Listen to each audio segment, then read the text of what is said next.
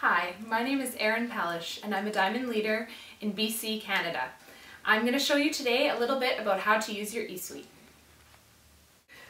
So when we're going to submit a ticket to It Works, uh, if we have a question or concern or we want to help someone cancel their auto ship, once you're all logged into your eSuite, if you go up on the top here to the end one, which says support, and click on that, it's going to bring you to this distributor support center.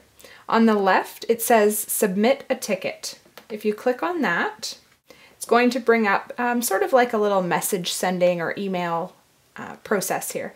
So once we get to this section here, under submit a new ticket, you're going to go ahead and select a category. They have pretty much any category that you could think of, anything that you would have a concern about that you would need to submit a ticket for here.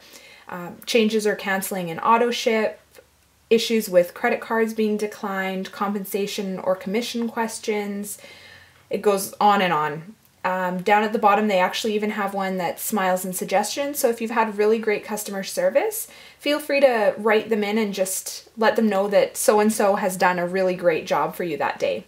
Under title, I do like to make sure that I have uh, the full information of anything that I'm needing that day. So I'm going to have the person's name and ID number. In this sense, I've picked a canceling an auto ship.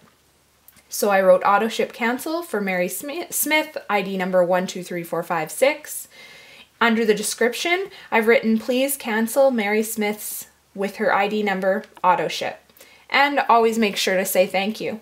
At that point, you're all ready. Just double check that all of your information is correct in both spots and go ahead and submit your ticket.